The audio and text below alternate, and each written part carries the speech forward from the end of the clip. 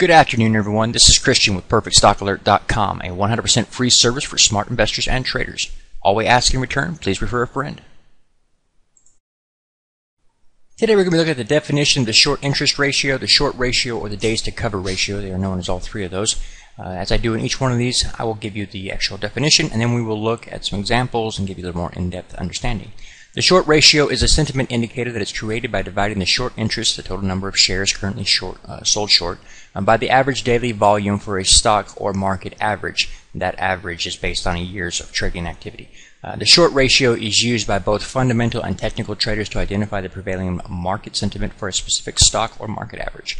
The short ratio provides a number that is used by investors and traders to determine how long, expressed in number of days, it will take short sellers to cover their short positions if the price of a stock were to begin to rise. Now let's go look at some examples. Okay, I am on the Yahoo Finance page, key statistics for Intel, the company, and you will see that this particular uh, indication right here, short ratio, uh, it's right there on that uh, particular page. However, you can find this information almost anywhere. Google Finance will have it. Uh, you'll be able to find it with your discount broker. Many, many places to find this information. Uh, a couple of key notes to remember. Uh, the short ratio is not uh, updated every single day. So uh, one of the complaints with the short ratio is that it can be outdated data. Let's say, for example, that you were looking at it as being uh, 4.5 right now, but that was as of August the 15th. Today is August the 27th, therefore that number could be drastically different from this point.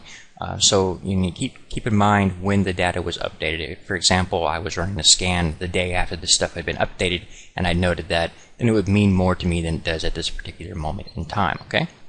Uh, also, it should be noted that when you're looking at the short ratio, anything under 5, uh, right here you can see it's 4.5, meaning it would take four and a half days for short sellers uh, as of August the 15th to cover uh, their positions based on the average volume for the past year, average daily volume for the past year. So whenever you're looking at that, keep that in mind that anything under five is not really that big of a deal. Um, you can get an indication, for example, if it was a one, the last update, and then all of a sudden it jumps to a five, then that would show that the market sentiment is changing.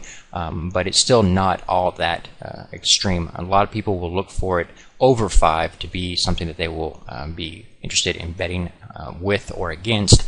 Um, also, some traders will uh, require that it be over 10, so it's just a matter of uh, your own personal preference. I would prefer over 10 if you were looking at uh, you know dated data. As in the situation we're looking at August the 15th, like I said, it's August the 27th. So uh, looking at something like that and 4.5 wouldn't be all that impressive to me. However, if it was a 10, I might be uh, looking at it a little bit differently. Okay, let's come up with a hypothetical example here, looking at the Intel chart. Now let's say, for example, you were looking at the short interest ratio back during this time period and it was a 1. Uh, and then you see this, this major move here and all of a sudden you get an update on the, the information and it's showing a 5 or a 7 or something of that nature at this point. Uh, that shift in sentiment would, would tell you a lot, would uh, make you realize that uh, investors are not as confident uh, to be buying at this particular uh, level on Intel, and so the preceding uh, sell-off would make a lot more sense. You, you, you could argue that you could argue then that the investors are not going to be pressing her any higher as they've just changed their sentiment uh, to be more bearish, and that could uh, argue in favor of a pullback.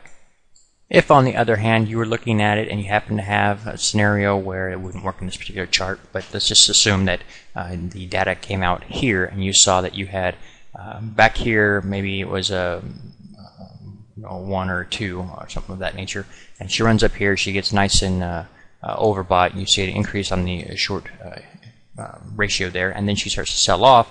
At the bottom here, if all of a sudden you see that dry up considerably down to a 1, uh, then you could argue that they have covered their shorts and they expected this to be the low point. And if you had other indicators telling you to be a buyer, that would argue in favor of your buy uh, strategy there. So there's different ways you can use it just as a sentiment indicator.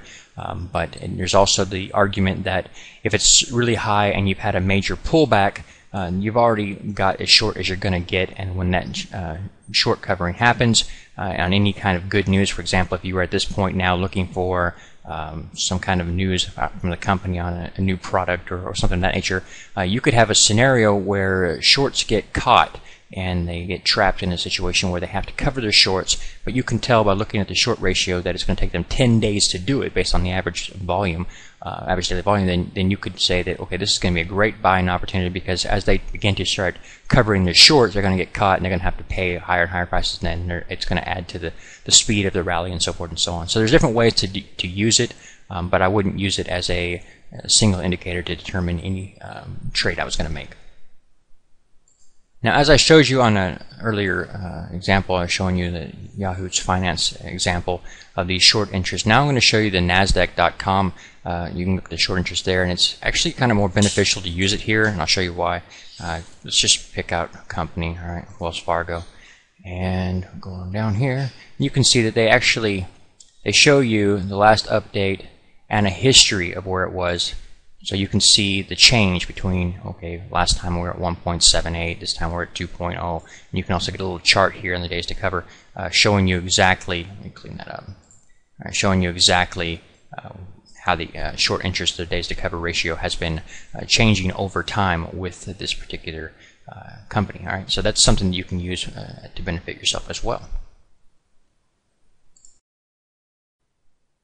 Please take a moment to review our disclaimer. The information provided herein is our opinion only. Under no circumstances do any statements here represent a recommendation to buy or sell securities or make any kind of an investment.